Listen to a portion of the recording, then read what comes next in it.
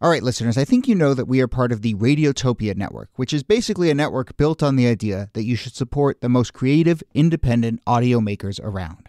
No one, and I mean no one, embodies the Radiotopia ethos more than Benjamin Walker and his show Theory of Everything. Benjamin, who I've known for a long time, has been making beautiful, personal, sprawling audio documentaries for decades that help us understand the very strange world we live in. And now he has a new series called Not All Propaganda is Art. The new series goes back to the 1950s when Western security agencies like the CIA paid artists, writers, and intellectuals to fight the cultural Cold War.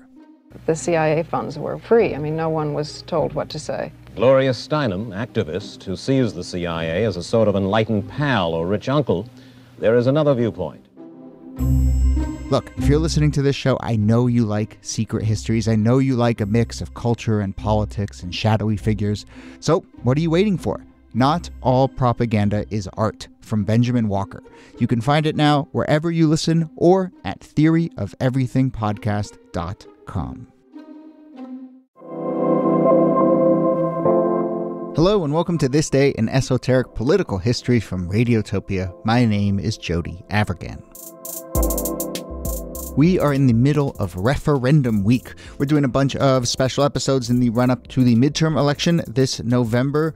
We are going to be talking about some of our favorite midterm stories, some favorite polling stories, and this week is referendum week. Today, we are looking at a referendum from 2018, not that long ago, in North Dakota a group of women who came to be known as the Badass Grandmas got together to help draft anti corruption legislation in that state, an amendment to North Dakota's state constitution that, among other things, established a state ethics commission, guidelines for how lobbyists can interact with legislators, prohibiting lobbyists from giving gifts to legislators, providing a little more transparency about how dark money is used to influence elections.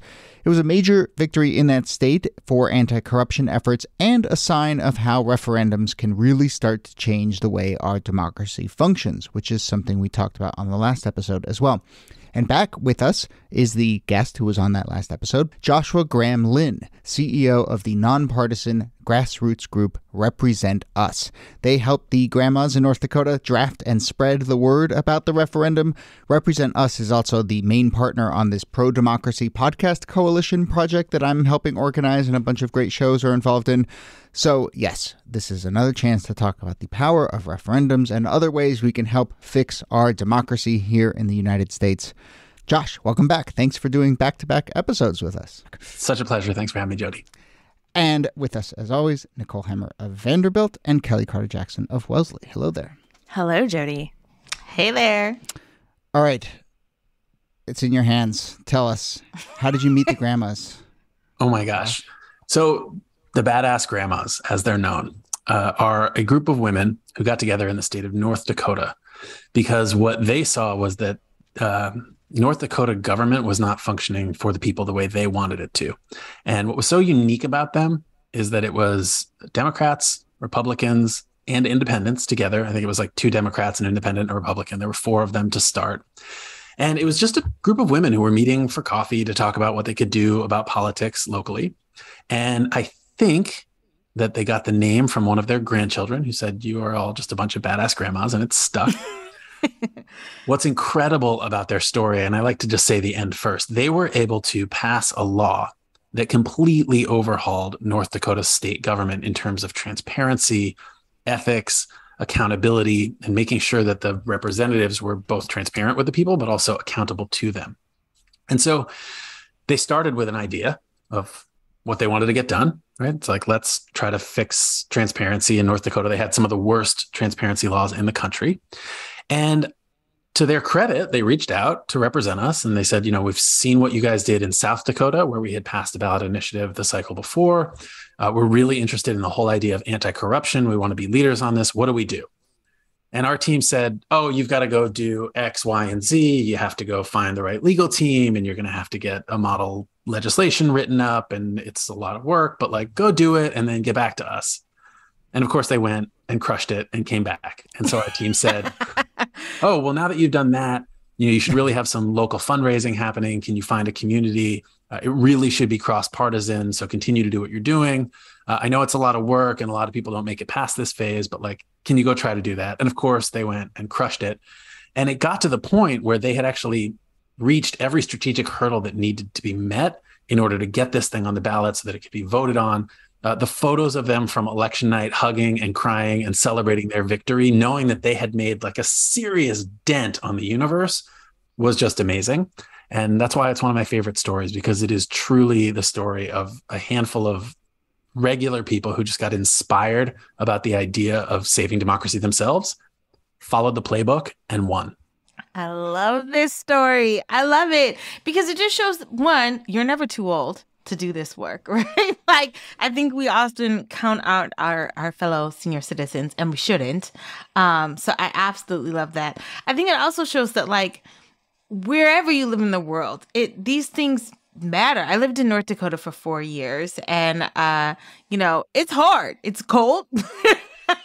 it can be it can be really tough politically. I think, you know, um every space is is pretty um polarized right now. But the fact that they were able to come together and say, like, hey, doesn't matter our political affiliations, like right is right and wrong is wrong and we want to make sure that people have transparency and we want to we want to know where the money's coming from. We want to know like who's giving and how much they're giving and where it's coming from like follow the the, the paper trail.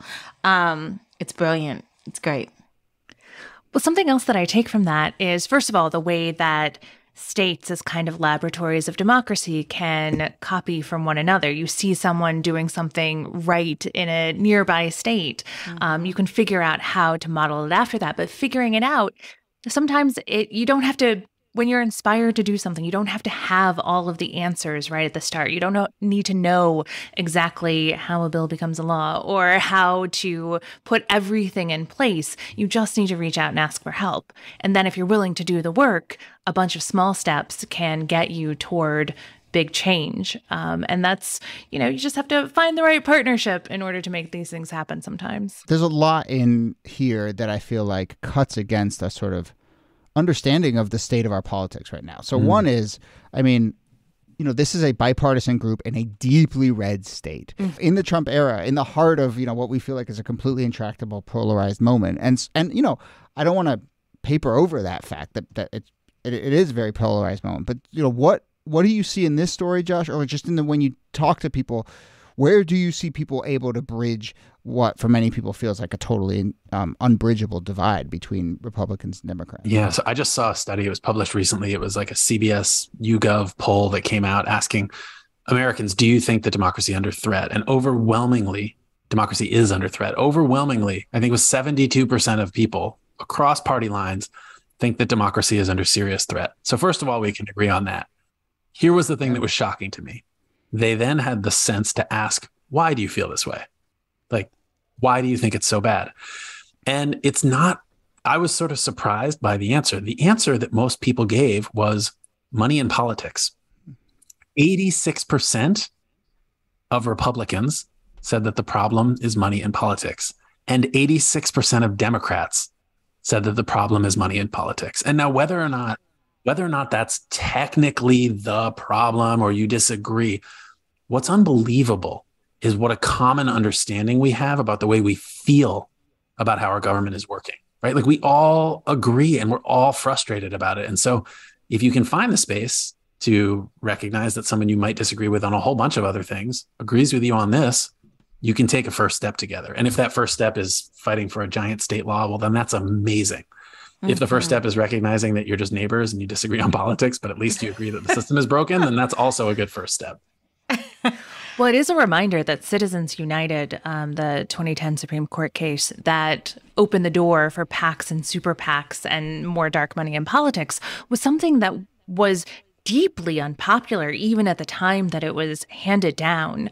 And those numbers that you just cited, Josh, 86%, that's enough for a constitutional amendment. Now, building political consensus on a constitutional amendment is difficult, but finding 86% of Americans who agree on anything is uh, is pretty impressive, and that's the seeds for some sort of change. It certainly is. I guess what I would say about that is there's lots of issues that we all agree on, right? And I'm not even going to enumerate them, but we've all seen the studies on issues that we think of as really contentious, but when you get down to it, Most people agree. And the problem is that we don't have representation in our government.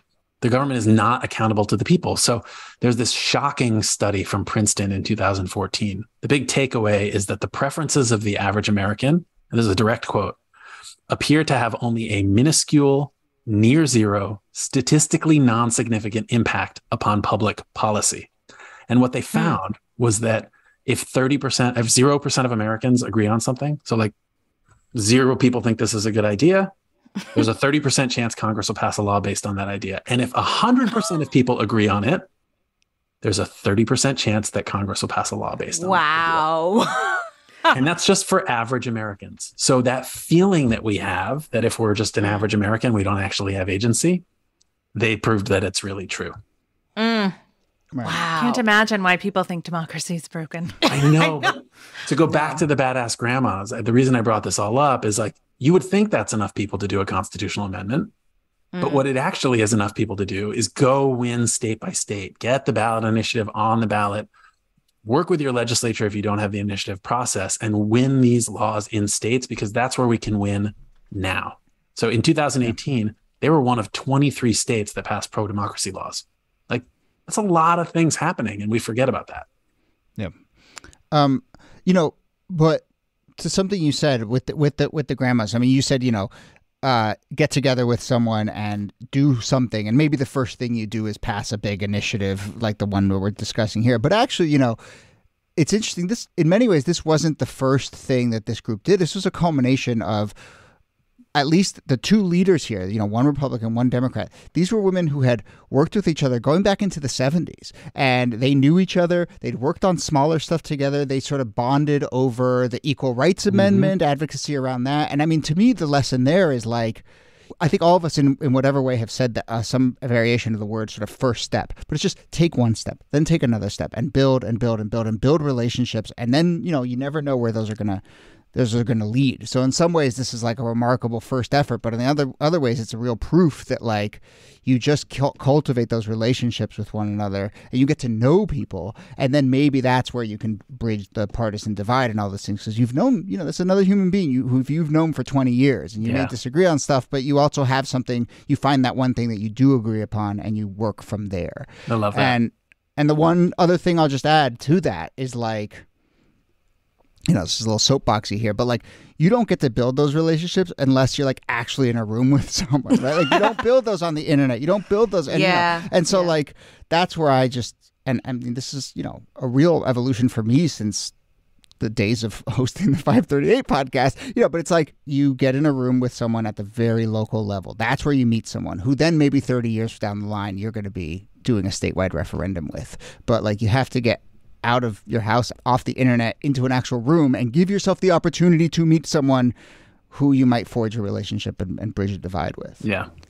I also think it's interesting that that 86% think that big money is is a problem because most people are just trying to, you know, save up or or get by or generate wealth in any way that they can and money becomes a crucial solidifying issue i think when people think about access to power who is left out of that or who's included in that. Mm-hmm. Most of us are left out of those those those tight knit circles of billionaires that are plotting and, and and all of that. And so it does make sense that people can come together around these issues because you know you're talking about 99.9% of the population in that sense I would also say, like, one more takeaway from these grannies is two women that got together working for the Equal Rights Amendment in the 1970s are two people who can tell you about political disappointment and running into dead ends.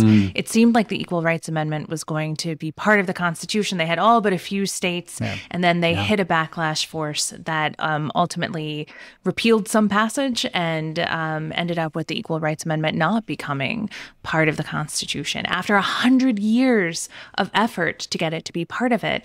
And they didn't use that as an excuse to drop out of politics or to stop trying. And Or to turn on each other, right? Yeah. Yeah, which Yeah. you could see happening. Yeah. Yeah. yeah. All right. Well, It was nice to spend some time with the grandmas.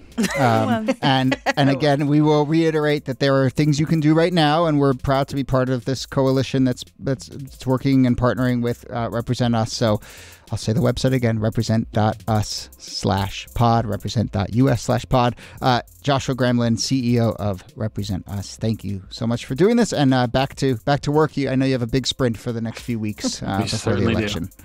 Thanks so much right. for having me. Appreciate it. Right. And Nicole Hemmer, thanks to you. Thank you, Jody. And Kellie Carter Jackson, thanks to you. My pleasure.